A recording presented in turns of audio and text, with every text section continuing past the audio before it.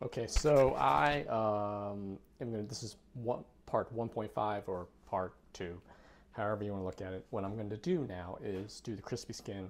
It is Wednesday evening. I figure you can, I'll do this ahead of time so I'm not in a rush tomorrow morning. Um, but I've got everything prepared, prepared. What I'm going to do also is cook, bake some bacon while I crisp the skin since the temperature is about the same and I'll have bacon for breakfast and I'll have some bacon to put on the turkey. And when I finish the turkey, I'm going to take it out of the sous vide bag. Bag. I'm going to wrap it in bacon, but in case that gets all screwy, I'll have actual crispy bacon to put on top or with it. Um, so what I've done is, this is actually really clever. Uh, as far as crispy skin part is, and this is why I love Serious Eats and Kenji uh, Lopez, is that he said to take parchment paper and two baking sheets, which conveniently I have and have not used very much.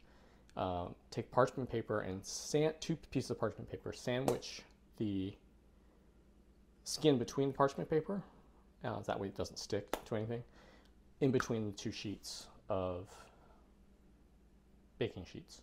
And that weight is going to keep it flat and should crisp really well, especially these are really nice pans. And um, but the pro tip is parchment paper, and I wish I had used this more years ago. I use it almost all the time now, know, all the time now to make uh, to grill fish, because uh, if anyone that's grilled fish knows it always invariably sticks and falls apart on the grill surface, and I, I use a griddle, um, but it still sticks.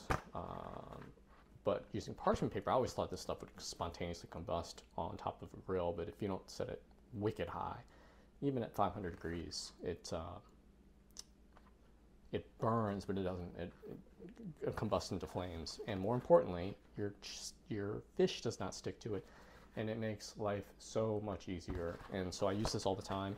The other pro tip is just to buy it from Costco. One of the reasons why I didn't used to buy it before because it was expensive but buy from Costco. You did a two pack, it's massive quantities. But this is what I've already prepared. I've got the bacon already laid out in the sheet. Um, there's two camps of thought putting the bacon in cold oven or preheating the oven. Honestly, I don't think it makes a difference. Uh, I think it's just, um, it doesn't make a difference. So this is what I've got. I've got the skin. Whoa control the camera there. I got the skin on the baking sheet with the parchment paper, seasoned on both sides. And I've got, oh, I reserved four or five slices of bacon for, to put on top of the turkey breast. I'm gonna take it out of the bath and then I'm just gonna throw this in. And the parchment paper ready to go. So what I'm gonna do here is lay it on top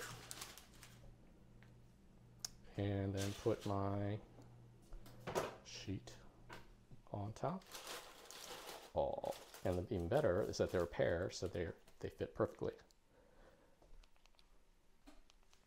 Let me flip the camera, and yeah, so I'm gonna go put this in the oven and see you guys in about 30 to 40 minutes.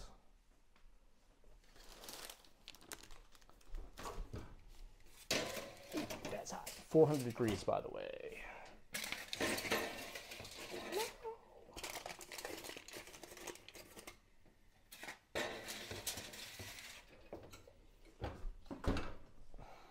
Okay, this is just progress check. This is the bacon at 23 minutes. Pretty good. A little bit uneven baking, but man, this stuff shrunk down quite a bit. The uh, skin has seven minutes to go for 30 minutes. Okay, so we're gonna try to do this without uh, burning my hand, which I can totally see myself burning my hand. I'm actually very excited to see how this turns out. So I kind of want to show you guys. We can discover this together. The grand reveal. We can go probably 10 more minutes. A little more time. Oh well, Okay, actually, I split the difference. It's about five minutes since it tends to cook exponentially once everything gets hot, like bacon does. Let's see how this looks. Oh, that's pretty good. I think I'll leave it. Don't heat that. Yeah, I think I'll just leave it. It's not as hard and crackly as I'd want, but ah, we'll go back in for another couple minutes. All right, we're trying again. This is a total of 40 minutes. Oh, Think this is it because I'm going to call it quits after this.